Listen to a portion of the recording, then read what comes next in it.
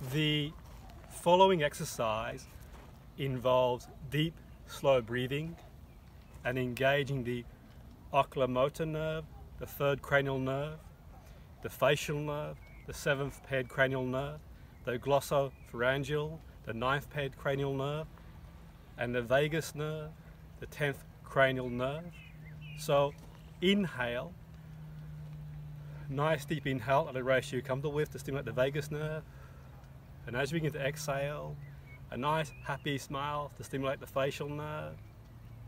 And as you stimulate the facial nerve, nice calm serene eyes to stimulate the oculomotor nerve and a nice calm exhale to stimulate the glossopharyngeal.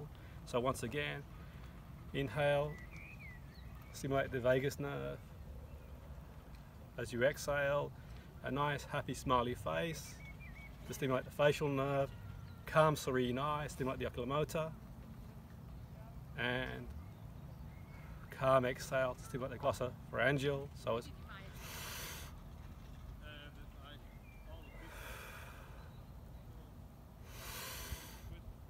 inhaling through our tummy as we exhale, nice, happy smiley face, calm, serene eyes, and exhale to stimulate the glossopharyngeal. And with passion. Boom!